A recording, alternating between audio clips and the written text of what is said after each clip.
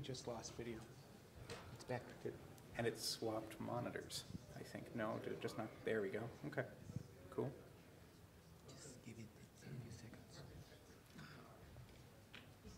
Still one minute to go.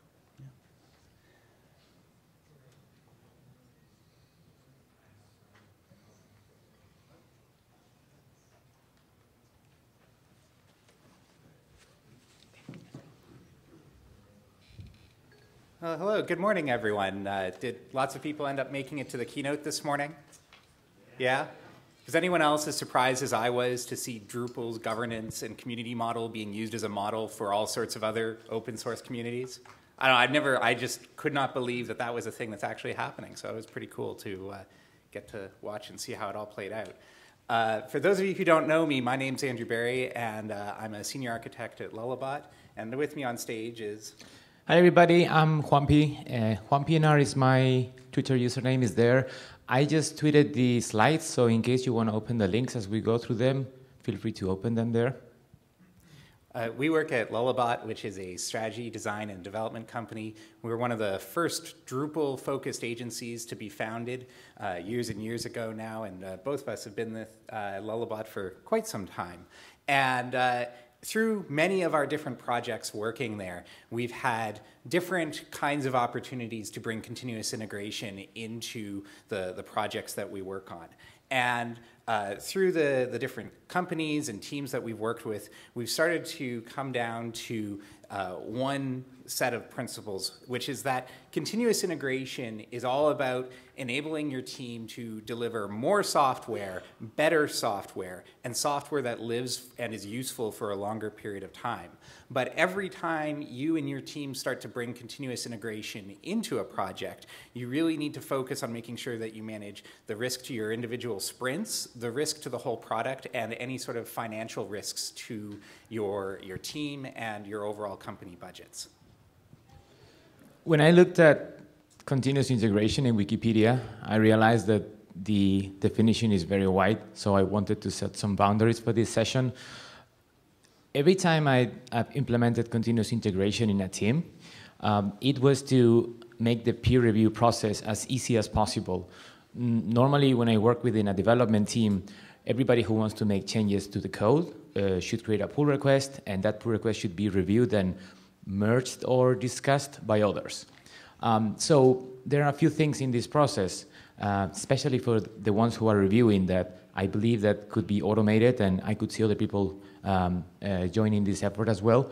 Um, things like running PHP unit tests and verifying that they pass. If there are Behat tests, making sure that they pass. Uh, checking coding standards, generating a coverage report. These are things that when I'm looking at a pull request, um, if I can get some feedback, just making sure that these checks are passing, then um, this green button that I'm seeing here, I want to make it as big as possible. I want to make it as easy as fast as possible for somebody to just focus in looking at the code, making sure that it meets the ticket requirements, making sure that all the checks are fine, and merging it. So uh, I started with Jenkins CI years ago. Uh, I remember I, I had a talk about how I was using Drupal with Jenkins for doing things like uh, running cron or deploying code automatically to development when uh, it was merged onto master. And then I started doing it also for other sort of CI. Um, it was it was uh, Andrew who introduced me to Circle CI. The client that we were working with before was using it already, and and we decided to move a few things to uh, from the current uh, Jenkins CI implementation that we had into Circle CI, and I loved it because we'll see we'll see in detail uh, why. And then lately, just uh, I wanted to compare Circle CI with Travis CI. Uh, I've used Travis CI in open source, uh, but I've never used it with a full Drupal site. So I, I took a Drupal 8 uh, project and added Travis CI exactly the same as I did with Circle. We'll see a comparison between them in a little bit. Yeah, and something we want to make sure is clear is that just because we chose these three tools for this topic doesn't mean that they are even necessarily the absolute best tools out there.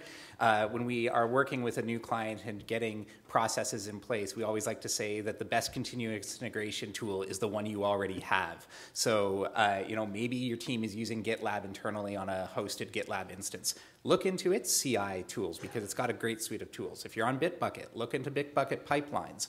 Uh, it's often a lot easier to bring in CI into your organization if you're not having to set up new business relationships with a CI provider or get provisioning for something that you're hosting yourself. So here are some of the tools that we have used to implement the jobs. Uh, Drush, usually for running database updates, installing Drupal, importing configuration. Uh, Robo is a task manager uh, in PHP. I, I must admit I love this one because I'm terrible at writing shell scripts. And with Robo, I was able to do the same, but um, within a PHP class. So uh, I know that uh, Drush uh, is using it as well too. Docker for spinning up and tearing down environments, and then Behat for behavioral testing. So here's a summary of what we found out over the past few years. Um, if a team would ask me nowadays, uh, hey, we, we, are looking forward to implement continuous integration for a Drupal 8 project, uh, what tool shall we use? Because there are many out there. Um, from the ones I've tried, I would suggest the team to either go for Circle CI or Travis CI I've, I've written a couple articles. They are at the Lullabot blog with just my personal experience about them. You can do the same. Uh, Travis CI may require a little bit more setup, but also uh, more flexibility. So it depends on the team. Um, also, if you, for some reason, you cannot uh, uh use Travis CI or Circle CI as a third party, they offer behind your firewall services, so they can be installed inside your network. Um, so have a look at that. So let's start with Jenkins. Uh, what we see here in the background is a typical Jenkins da dashboard uh, with jobs and their status. Uh, let me pass, let me move on. So here, uh, what we do with Jenkins is um, everything goes through the UI. Uh, so it's a web interface. Um, this is a shell step uh, where we were running, in this case it was Behat tests, and recreated a um, Docker image based of the official Drupal image. For this particular client, uh, we were managing modules, not full Drupal sites. So what we would do is we would run a Docker command that would build a container. We would pass the module to that container and then run a script that was part of the repository. We did that so we could uh, put at least the scripts uh, under version control. Um, so for a newcomer, Jenkins is really uh, really useful because um, you install plugins via the web interface. You create new jobs via the web interface, define steps, conditions. Um, if you have never done CI, it's really easy. It, it also has some cons that we'll see in a bit. So here's uh, the, the script that we were running before. Um, what we're doing here is uh, we are starting uh, Apache. We are we have here a, a Robotask to install Drupal, and and then we, are, we were using at that time Phantom.js. Uh, I think we, this is this was for maybe a couple of years uh, uh, ago. We then moved on to Headless Chrome, and then finally we were running Behat test, providing a configuration file.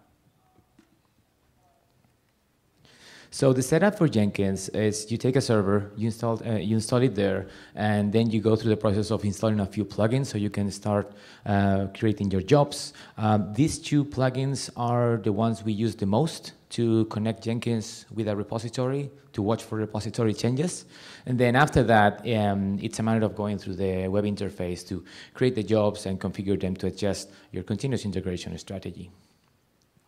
Some of the pros is that it's free and customizable. You just need somewhere to install it, and then there you go. Um, also, because you're starting from scratch, uh, you can be very specific uh, at, with your implementation. For example, I, I started messing around with the commit mes st status messages here. Uh, for example, if the code coverage uh, job would pass, I would also print the coverage statistics. If some of these other jobs would fail, I could say I could say there how many tests were failing, for example. What I wanted to uh, to do with this was uh, well. Um, provide here some feedback so it was not necessary to click on the details to view the full report. Again, making that merge button as big as possible and easy as possible to move on. Also, uh, Jenkins has been there for ages. I, I read the other day, uh, Jenkins is seven or eight years old, but it, it spun up from uh, Hudson, another project which is already 14 years old. So uh, there are lots of documentation, articles, recipes. Uh, there's a high probability that what you're trying to do with Jenkins, there is already either a plugin there or somebody has written an article that explains you how to do it. Also, uh, because you're in full control of the infrastructure, not only you can spin up a Docker environment to run a command, you can also persist that environment if you need to. Um, I remember that um, we, we worked with a QA team that uh, wanted to mix and match the modules that we maintain to set up a Drupal site a la Simply Test Me and do some testing. So what we did is I, I took the Behat job that we had and uh, I adjusted it, uh, I made a clone of it. And instead of running the Behat test suite on top of it, I assigned a port uh, to it and just made it available. And then there was another Jenkins job that would watch for uh, merge or close events from GitHub, and then it would destroy the environment. So some of the cons, um, yes, it's free, but it takes you a lot of time to set up, and it's not easy to um, get the set, get a certain setup and then replicate that uh, anywhere else, uh, especially when you're moving on to different projects.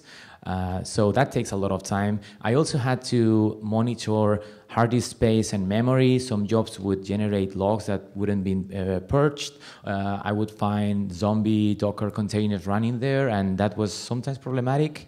And because it's so oriented to the web interface.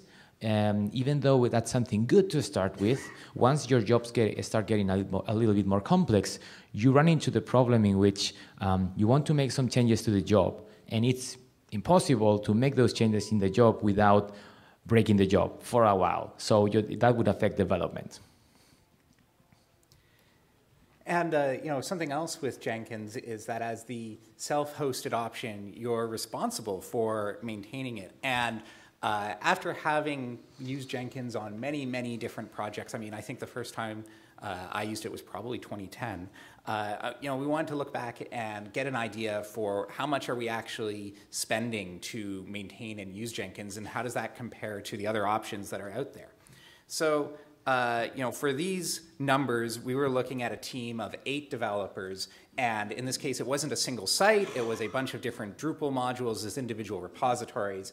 And uh, when we look at those jobs that we were looking at before, uh, if you're to run them one after the other, meaning not at the same time in parallel, you're looking at about 18 minutes total CPU time. They're obviously, you know, not all the same amount of time. Unit tests run really fast, and Behat tests are probably the slowest to run. Um, and then we're also assuming that each developer on average does about one pull request a day, but that they're testing more than one commit because they might push up a commit, open a pull request, and then realize that they broke a test and need to do some fixes and submit another pull request to be tested. Uh, and we're also assuming that the team runs some of your tests locally, meaning that they're not just pushing up work in progress commits for the sake of testing, that they do know one way or another how to run those tests locally, which is reducing the load on your, your Jenkins server. Uh, most of the time when we have worked with clients to set up Jenkins or when we've come into a client and they already have Jenkins, they've basically got something like this where it's an EC2 instance as a VPS, meaning that they're not using uh, you know, Amazon's APIs to manage the system. They're just treating it like any other virtual server on the internet. And the main reason we find for this when we talk to our clients and we talk to ourselves is that it's the easiest to understand and set up. Uh, you know, but uh, the server is always there being paid for on weekends, on nights, on evenings, uh, you know, well, nights or evenings. Uh, and, uh, you know, it doesn't help when you have activity spikes, like at the end of a sprint. You know, maybe you had a long weekend. Everyone was out, uh, you know, Friday, uh, for a holiday, and then you come back the Monday and you're at the end of a sprint and you're like, oh, we got to go, go, go, get all these pull requests merged and tested. Uh, and if you just got a single uh, server, you know, it's not scaling up and down to handle that. And uh, you know, when we talk to some teams, uh, you know, the answer is just, oh, well, just auto scale it. Doesn't Amazon make that easy? Um, not really. And you know, when we look at most of the enterprise Drupal 8 websites we're working with, unless they're using a completely managed service provider, they do not have auto scaling for their production Drupal website. So if they don't have auto scaling at that level, what are the chances your Drupal focused development team is going to enable a fully auto scaled Jenkins server for something which is not directly related to production? So, uh, you know, you might think auto scaling is your way out of it, but unless you are already doing that throughout your organization, it's probably not something that's actually going to happen. So in this case, this was an Amazon EC2 instance, and we were spending about $300 a month for it. And you know, in terms of sizing, uh, you know, Composer Update uses a ton of memory. Uh, it used to be way, way worse back in the day. Like I'd saw, see it take four or six gigs of memory to do Composer Update. Um, you know, since the Composer packages are now hosted on Drupal.org and the repositories are split between Drupal 7 and Drupal 8, it's significantly better. But even then, we're still looking at around half a gig to a gig of memory. And you know, for a server like this, maybe you're able to get up to 48 concurrent jobs if you're using 24 gigs of RAM for Jenkins. But uh, we always found that the CPU limits were hitting first, and of course, you could just try and you know go to a different sized instance and try to tune that. But that's more time you've got to spend tuning and rebuilding and seeing you know how it works. Maybe you get it tuned for you know uh, less memory, and then all of a sudden something changes in some library that you're using, and you need a lot more memory per job. And you don't know that until your jobs are failing and someone spends half a day trying to figure out what's going on. So uh, I actually went into our time tracking system and I pulled out uh, all of Juampy's hours for a project. And he spent 116 hours where he logged entries with you know, Jenkins, continuous integration, or just the word continuous. And this was a project with no migrations, so there was no continuous migration entries being tagged. And you know, you take that at your rate for an employee that you're paying or the rate you're paying your, your contractors, you're literally looking at hundreds to thousands of dollars of employee time a month uh, on top of your hosting bills. And that, in this case, this doesn't include the client hours for the clients we were working with, where they had dedicated DevOps and infrastructure engineers who were providing the underlying Amazon hosting and so on. So the, the realistic costs of this were a lot higher. Um, and when it comes down to it, you know, for teams here at a conference like this, like your team probably knows Drupal and PHP and JavaScript, and maybe the people in this room, maybe we know Jenkins. But what happens when, you know, you're working on critical features and you don't have time to maintain Jenkins during those moments? Uh, what happens where you move on to a different team or a different project? Who's going to maintain those instances? The knowledge pool for Jenkins uh, is not very wide within a programming community. And so it really comes down to that the costs of hosting Jenkins are really related to the expertise of your DevOps staff.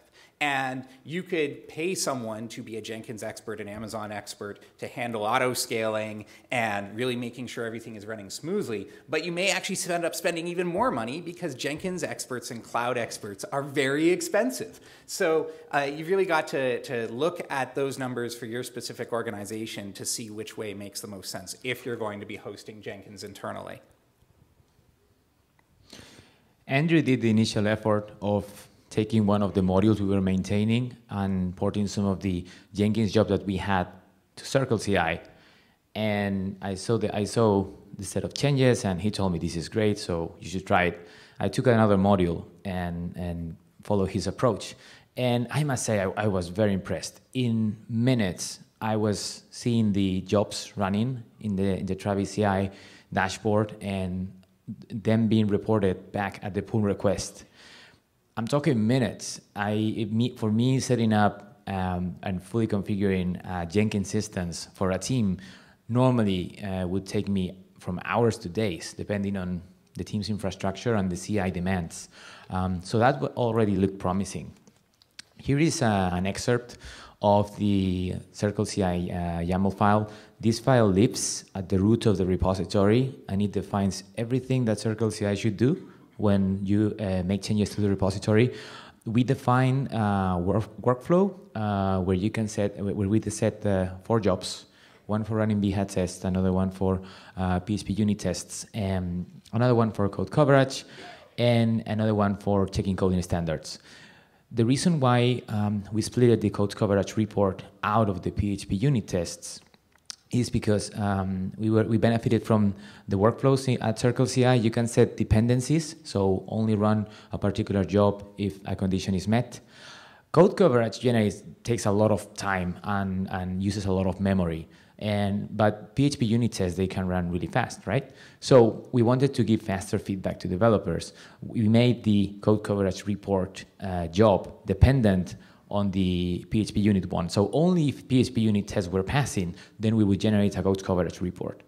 Um, here, let's go quickly through the syntax. Um, we benefited here from uh, these are uh, YAML aliases. It's like a way to reuse steps or variables, if you want to call it that way.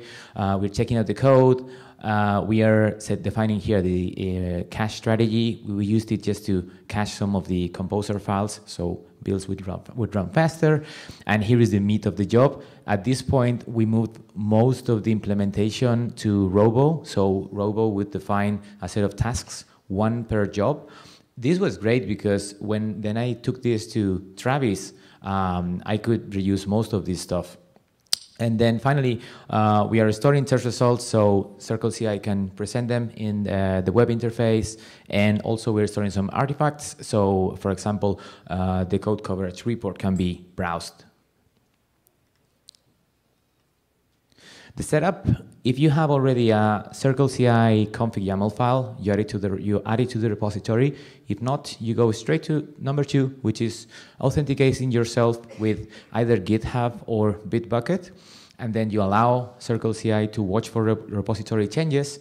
Um, Circle CI may either uh, analyze your repository and suggest uh, a config YAML file uh, for you to start with, or maybe you can just click the technology you're using and use a template. Let's see some of the pros and cons of Circle CI. Um, as I said, you can define workflows, a, a set of jobs that uh, will run in parallel. Uh, depending on the concurrency level that you are using, this may actually run in parallel or they'll, they'll run one after another. And it uses, well, anybody here has ever used Docker Compose? Right, so I, I wonder if for some, any of you uh, this looks more or less familiar. Um, this is also part of the Circle CI config file. Here, I'm defining the mix of images that I want to use uh, for my jobs. Uh, what I did in this case is I created a Drupal 8 project with a Composer Drupal, uh, Drupal project, and, and then uh, this is an extension of the official Drupal image where I'm just removing Drupal core from it because I'm gonna use I'm gonna use a full project instead. I'm also adding Xdebug, Composer uh, to it. Then we also use in Chrome for Selenium because we want to run Behat tests, and finally MariaDB uh, as a database server. Yeah, one of the things I really love about uh, Circle's setup is if you've used Docker Compose before, you have to manually set up the links between containers, which is actually really painful when you're dealing with Behat tests because you've basically got two codependent containers for networking. And Circle basically makes it so every image to the jobs is as if they're on a single server. So you're talking to MySQL over localhost, you're talking to Selenium over localhost. You don't have to think about it, which is a pretty neat feature. You also get SSH access to jobs. This is great for uh, post-mortem debugging. Uh, if you have ever done CI, it's, it's frustrating when a job fails and you think, oh, it must be because of this. So you make a small change, push, wait, and it fails again. and then not only you are polluting the branch you're working with, but you're also wasting a lot of time. Being able to jump into the environment after the job has finished so you can run some commands and figure out what's, what's right. It, it will save you a lot of time. Also, Circle CI offers a command line interface. Because it uses Docker to build an environment and run whatever you want it to run, you can run the same thing. You download their command line interface and you do Circle CI build and here in the, in the screenshot, for example, what we see below the command I'm running is um, the Circle CI command line interface pulling down the images uh, into my local and then running the jobs.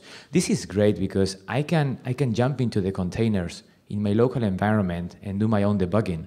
Um, it helps me, for example, when I want to verify that uh, jobs are passing before even creating a pull request. So uh, when I do, I'm, I'm pretty sure that jobs are going to pass. Some of the cons is that well, it's not free. You're, it's a it's a software as a service, and that uh, the free uh, the free I would say that the free service it's is good for you just to get a taste to see how it works. For example, um, I I'm, I'm, maintaining the uh, Drupal Camp Spain website, and I added this to it, and it is perfect for for our needs. And if you need better concurrency, you may need to look uh, for upgrading. And also because um, you're not in full control of the infrastructure, um, you may need to adjust your continuous integration strategy to what Circle CI offers to you. Yeah, so when uh, we looked at the cost for Circle CI is really interesting because it did take us about 50 hours to set up Circle CI across 10 different repositories. But something to keep in mind with that is we had a ton of Jenkins experience going into doing the same thing with Jenkins. So we basically went from we literally have no idea what we're doing with Circle to done, meaning we learned the service, we set it up, we made it work and be repeatable across multiple different repositories in about 50 hours. And now that we've done it once, it would be way, way less. Like for setting up similar projects right now, it's probably, if you were to say, hey, Andrew, could you set up 10 repositories? It'd probably take me half a day or a day at most. Um, and what was really interesting is that with Jenkins, the hours that were spent maintaining it were fairly even month to month across those 15 months. So it wasn't just you know an initial sprint of setting it up followed by you know minimal maintenance. There was actually pretty decent amounts of maintenance throughout that time period. And what we found with Circle is once we did get it finished set up, uh, being set up, you basically had no maintenance. You could pretty much ignore it, which was kind of fun. Um, and the only time that you really are forced to do any sort of maintenance is really a software issue, which is when you're doing Drupal core upgrades. You know, if you have your module and you're testing against Drupal 8.4, then you're going to need to update the containers so that they have Drupal 8.5, make sure everything passes. You know, maybe uh, the PHP unit configuration changes those sorts of things, but that's not really Circle's you know, on Circle's responsibility, and that's going to be the same regardless of whether you're using Jenkins, Circle, Travis, or anything else. And uh, from a pricing perspective, you know, you can go all the way down to free. So the way their limits are is that one uh, job concurrency limit is for private repositories. So if you're dealing with a public repository, you actually get up to four concurrent jobs throughout uh, the month, which is great for you know open source or just work you don't have to keep private. But for private repositories, because you're paying month to month, uh, maybe you have a really large team today and you want your tests to always run really fast and get that feedback as quickly as you can. So you go all the way up to uh, eight containers, and each container costs $50 a month. Uh, and then your project is done, and your team goes on to something else completely differently, and the site is still there. You could scale it all the way down to one container or two containers, and your jobs will still work. You don't have to change anything about your integration. It just means when someone does do a pull request, those jobs are going to run one after the other instead of all at the same time. So you have a lot of flexibility there, which is uh, pretty nice. So as I said before, I've used Travis in the past with uh, open source projects, but I thought, how about for a Drupal 8 project? And that would also give me a chance to compare Circle CI and Travis CI.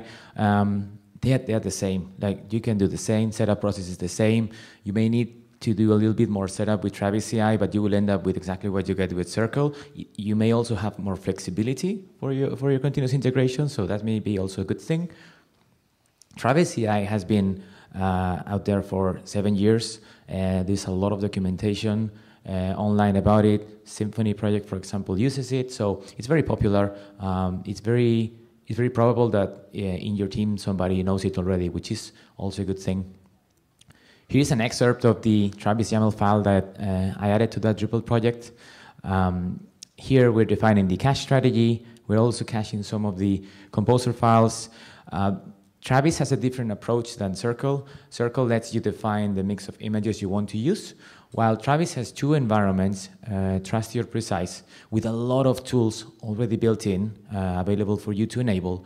Um, out of those tools, I needed the Docker service because in this case, um, especially for running the Behat tests, where there are there is a database, there is a web browser, um, there is Chrome as well running, uh, I wanted to define my environment using uh, Docker Compose. So I took uh, the Docker for Drupal uh, template, and uh, that's what I'm what I'm using here within this robo task.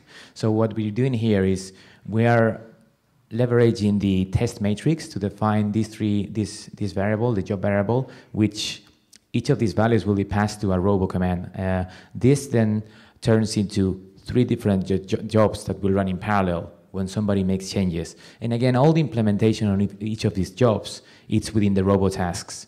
Uh, if you're curious, by the way, this link takes you to the actual implementation so you can um, see the full details.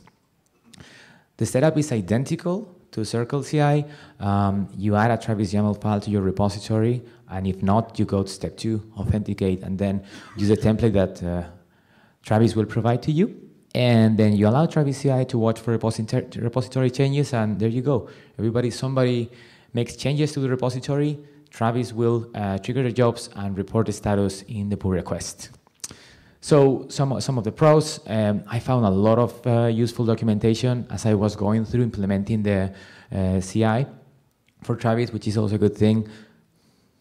And some of the cons is that, uh, that I found Travis doesn't have the concept of artifacts as Circle CI does. So in my particular case, I wanted to host somewhere uh, a coverage report.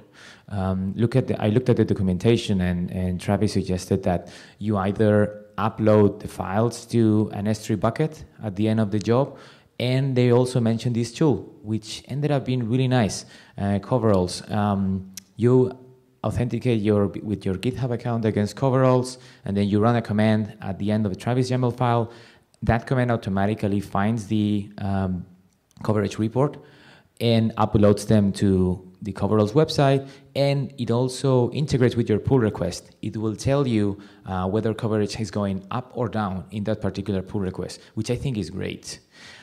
Also, Travis CI supports Docker, but needs a little bit more setup. I, I ended up finding that it gives me also more flexibility for this particular implementation. Um, I was using Docker Compose for running the Behat test job, but I was using the, the precise uh, environment in Travis to do, for, for example, checking coding standards because that's all I needed. And also, it doesn't, uh, Travis doesn't offer a command line interface, but you can overcome this by implementing this in a certain way because we moved most of the logic to uh, Robo and we were using Docker Compose to build environment, I could run the task locally and that would be fine. Like I would get pretty much the same output and results that I would get them in Travis. So I, I realized this is not actually a problem. Yeah, and something else to keep in mind with that is that by keeping as much of your test logic outside of the CI configuration, it makes it a lot easier to do something like what he's talking about, like run it locally. And so, uh, you know, following that model gives you a lot of flexibility. Um, so you've looked at all these services and you're excited about one of them or maybe more than one of them and you really want to bring these tools into your team. And probably the first conversation that's going to come up is not actually the cost uh, uh, of the, the finances because uh, you know that's usually not a big deal. But it, what's the cost on the team? What's the cost on your workflows? What's the cost on the deliveries that you need to make?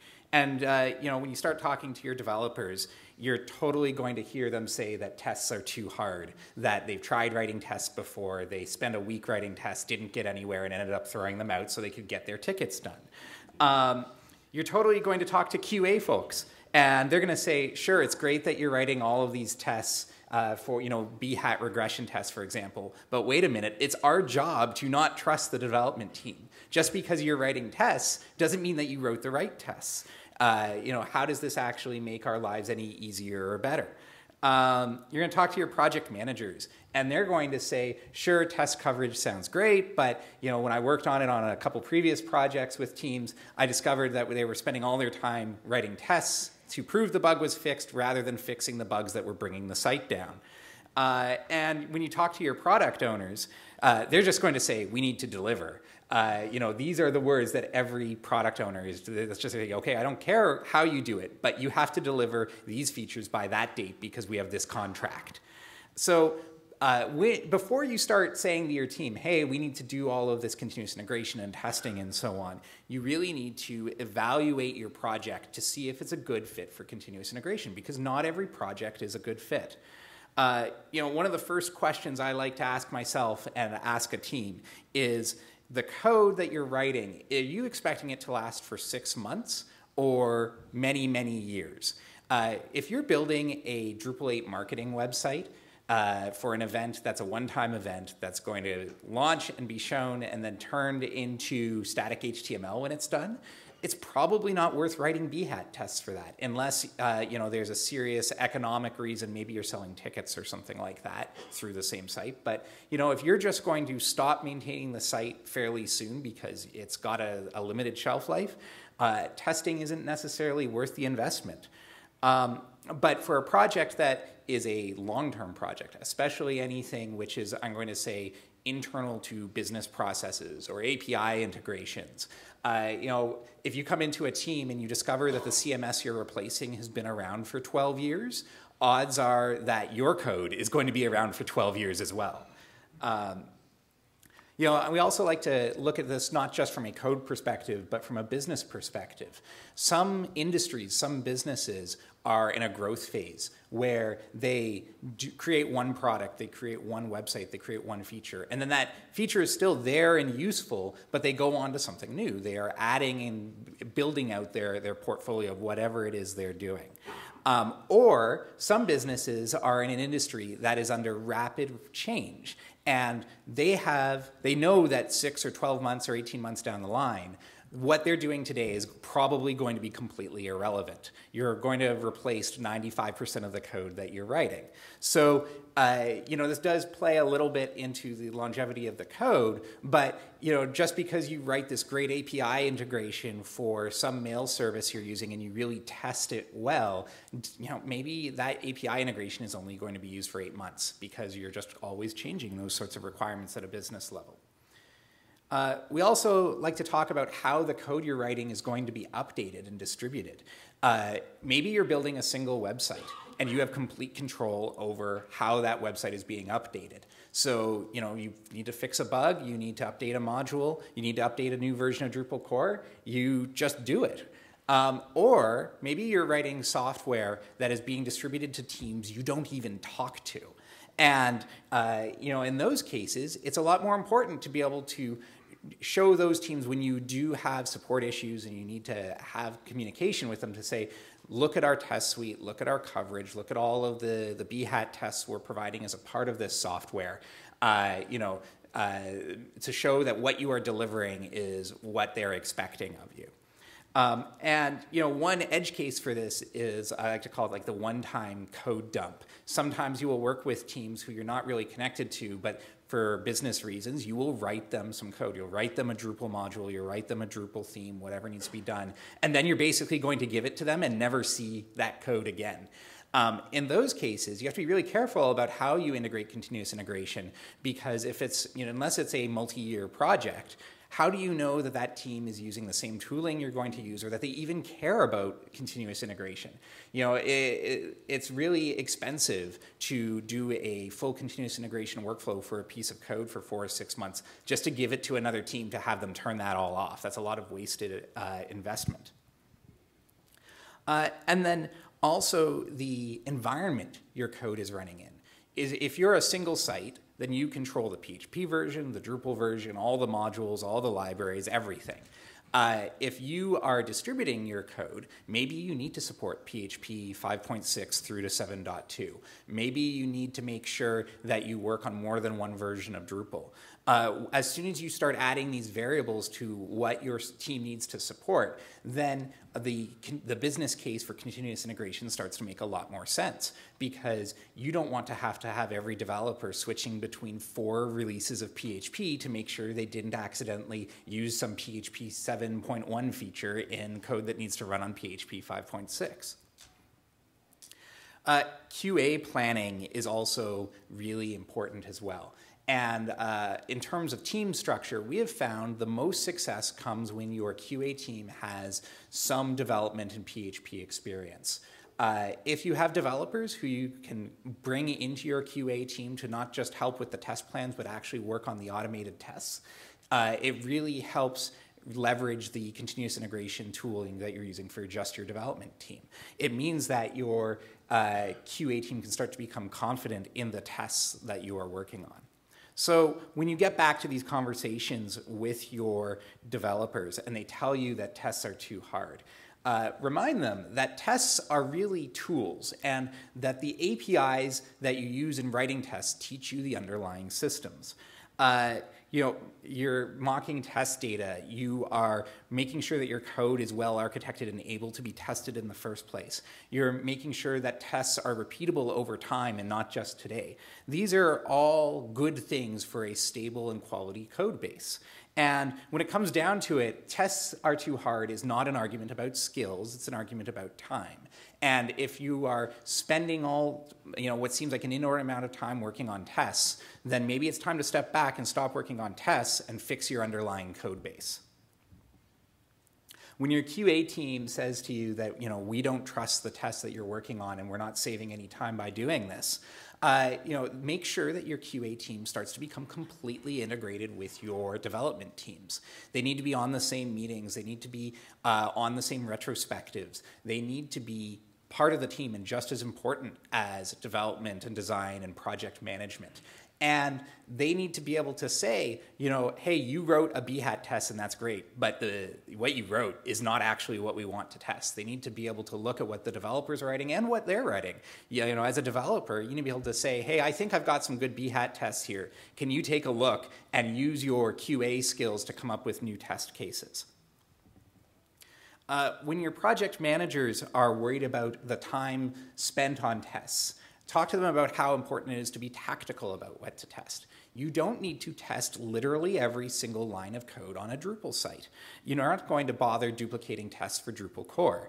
You're not going to necessarily test every little theme feature that is there. You're going to focus on the features that are either the most important from a stability and maintenance perspective or the features that are directly related to uh, your site's ability to generate income. Uh, and it's really important to trust your developers. When your developers say, I want to spend the next morning finishing up the test cases on something, what they're telling you is that they want to spend the next morning making sure they didn't break anything. So give them the time to do that. So that way you're discovering those bugs during the development phase and not the release phase. And also track your hours. It's really helpful to be able to go back and say, I feel like we were spending too much time on some, you know, testing or continuous integration. And if you are tracking your hours effectively, you can get that information, find out whether it's just a feeling or whether it's reality. And when your product owners say, I don't care what you do, we just need to deliver, talk to them about how continuous integration is a necessary step to continuous delivery. Uh, you cannot be continuously delivering a product without having a continuous integration system underlying that philosophy. Uh, you know, think about like how many people in this room have had to deploy a hotfix to production on a Friday night. Um, you know, delivery of that sort of hot fix is a lot faster and easier to do if you have good continuous integration in place. Uh, I remember one time early in my time at Lullabot, there was a hot fix I had to deploy involving a settings.php change, and I totally deleted a semicolon by mistake. Uh, so that meant that instead of one page on the website breaking, now every single page was throwing a PHP error. Uh, so that was not good. Uh, but if we had had continuous integration in place, the systems would have told me right off the bat, hey, I can't run your Behat test because literally every page is broken, and we wouldn't have made things worse in production. You know, hot fixes are stressful, and anything you can do to reduce those stress stresses is going to make your team happier and more effective. So that's a lot to, to think about when you need to discuss bringing continuous integration into your team. And so, uh, you know, I'd like to try and condense this down into, uh, you know, some talking points that you can bring to your team. So first of all, you know, for de the developers on your team, talk about how you will shorten the testing cycle. Uh, how instead of having to write code, merge code, wait a day or two for QA to get back to you, and then deal with whatever fixes you need to do, you're going to get that immediate feedback. Um, but then in terms of helping to manage that sprint risk, which we talked about way at the beginning, you know, time box the effort that you're putting into setting up your initial continuous integration uh, strategy. Assume it's going to take you at least one hour. Uh, you know, maybe if you have experience with a tool already and you've done it before, it's going to be less. But you know, it's not going to realistically take you less than an hour. Um, if you've never done anything like this before, it's totally reasonable, even with a pre-built hosted service, to assume you're going to spend half a sprint learning the system and getting it up and running. Um, and if it's taking you longer than that, if you find that you spend a week trying to set up testing and it's not working or you're not feeling, you're not like you're making progress, uh, that's a really good time to step back and think about why that is. And usually that's a case where you need to then look back at your team composition, your team processes, and your code and figure out where those frictions are coming from. For uh, you know QA and project managers, uh, you know it, this really changes the, the job description for a lot of QA folks. A lot of QA teams spend a third or half their time doing regression testing by hand. And uh, once you have, you know, say a full Behat suite covering your website, QA's focus becomes not on doing the regression testing because you're writing code to automate those regression tests, but on writing new test cases, which when it comes down to it is what the QA teams, every QA team I've ever worked with, that's what they're best at. You know, uh, you get the best results when you can say to your QA teams, you have a week to do nothing but think about new and insidious ways to break my code. Uh, and uh, you know that leads to a higher quality product. Uh, but then to help manage the product risks, especially if you are delivering something to other teams or other organizations, having the metrics that you get from continuous integration, whether it's showing the change in code coverage over time, or whether it's showing uh, you know, uh, how many uh, parts of your system, you know, individual modules now have full test coverage. Uh, those are metrics that you get to share. Uh, the code quality reports that you can get by running either tools like PHPMD or PHPCS or using you know the various hosted services out there, it gives your technical project managers who may not know a lot about Drupal or PHP or even uh, the web, depending on where they're from, it gives them something to look at and say, we know this is well architected code because it's following these best practices in terms of code structure and uh, you know uh, code architecture.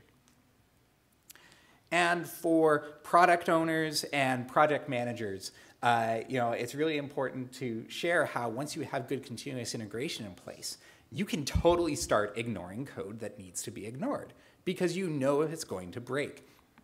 You can set up a nightly job that runs once a week or once a night to test against the latest, you know, minor point releases of everything that comes out. And you'll get an email telling you, hey, guess what? Our module broke and we need to now go fix it. But it also means that when developers are brought into a code base that they've never looked at, that maybe no one on the team has looked at, they've got tests and they've got reports and they've got all of this metadata about the health of the project that they can look at and start contributing right away. Um, and then in terms of the financial risk, you know, the, the monthly costs are relatively small given what you spend for a team of five or 10 developers, but they're also flexible, which is really the most important bit. You know you're not locking yourself into an expensive $2,000 a month contract for, uh, you know, any of these services. Here are a few links for you to dive deeper if you like to. If you're looking forward to implement uh, continuous integration with Circle CI or Travis CI, uh, we have written an installer that will place a lot of files in your repository for uh, running the kind of jobs that we talked about. And this should help you to give you a foundation. We wanted to speed up as much as possible the setup process when you want to do, to do such kind of thing. And Andrew also maintains another, another installer for standalone modules. So if you have a Drupal 8 module in, in GitHub, then you can use Andrew's installer as well to implement continuous integration for it. And also here's another link for the articles I've written about my personal experience with um, Circle CI and Travis CI. If you've never joined us uh, a sprint, please, I encourage you to do it. It's a lot of fun. Uh, you can sit next to uh, people who drive uh, initiatives in within the Drupal community. And uh, please, uh, if you enjoy this session, uh, fill out the survey and give us your feedback and questions. We are going to be after this session at the Lullabot booth. I think it's number 100. So if you don't have a chance to ask a question now, or you just want to chat with us, feel free to join us. So we'll start now with the Q&A.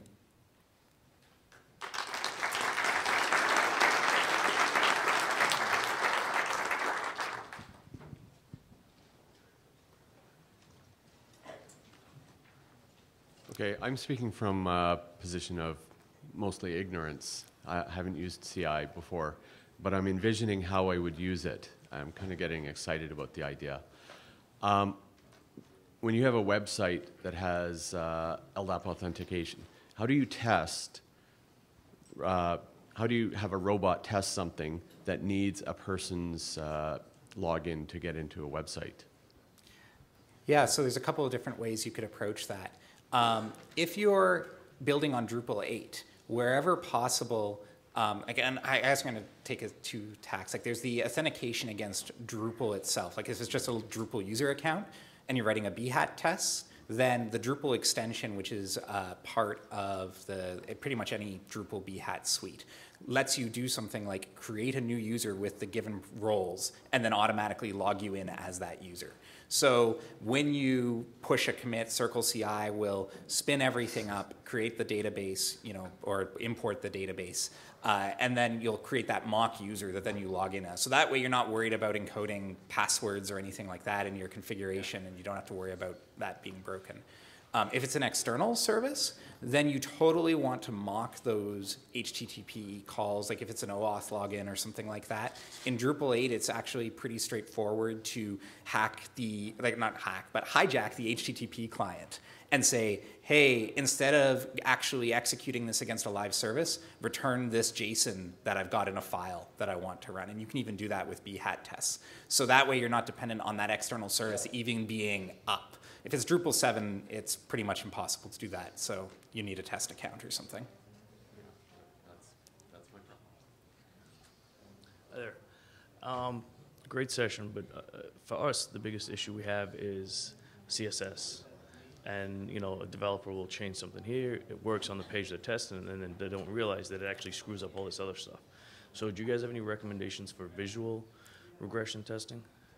We've done some work with it in the past, but uh, me personally, I haven't done any visual regression testing. I know there are tools out there, but I cannot recommend any in particular. Have you, Andrew? You sure about that? Because Yeah. Tugboat supports uh, visual regression testing. So uh, Tugboat's Lull- a Lullabot uh, tool and service that basically does something like this, except it gives you an interactive website instead of running, um, uh, you know, uh, your tests and so on. So it does do though visual regression testing uh, between you know what's on master say and what's in your branch. Uh, obviously, it's not going to tell you if the changes are what you wanted or not, right? Like it's just going to highlight them and say, you know, do you, is this what you intended? Um, but that can be a really good tool for those sorts of situations. Ben, ben is the Tugboat uh, maintainer. Ben, Yeah. do you know? Uh, can you tell us what technology is Tugboat using to create the reports? All right. So So you if, said if- Phantom JS and uh, sorry, what was the other thing? All right, and some image overlaying library, probably an NPM. yeah. so feel free to go and ask Ben if you need more details. Uh, I guess two things. Funny he should ask that because I submitted two sessions about doing visual regression testing in Behat for like doing screenshot comparisons and things like that.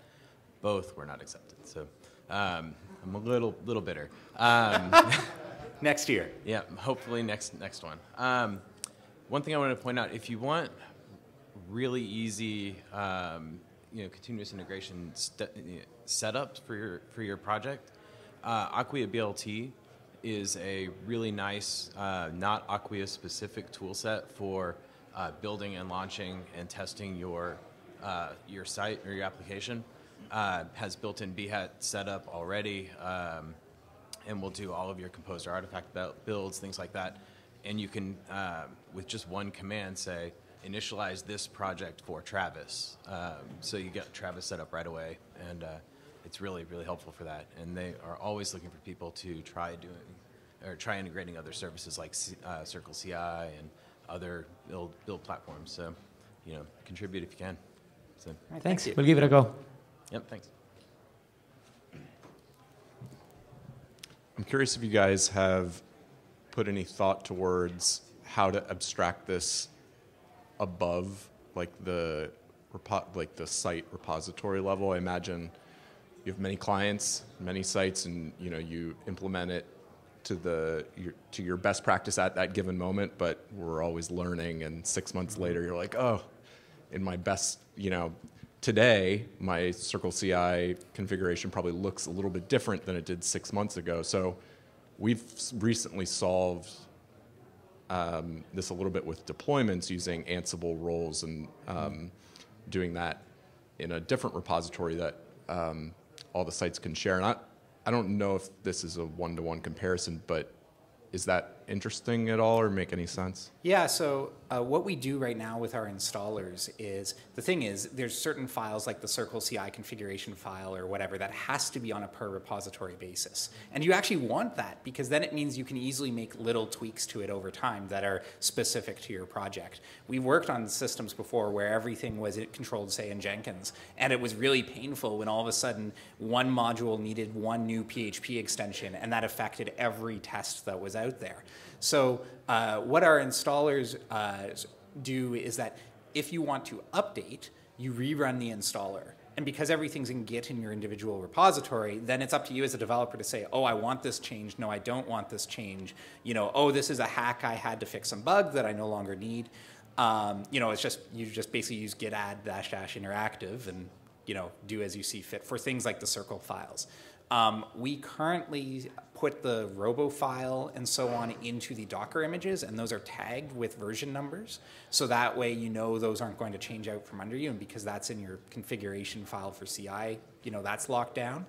Um, what was the other thing that we do? No, maybe that's it. You got anything to add? Uh, yeah. Uh, well, first of all, if you if you have any code that is public on what you mentioned, we would like to see it. So if you can just link link us to it via Twitter, I would really appreciate it because I'd like to have a look at it.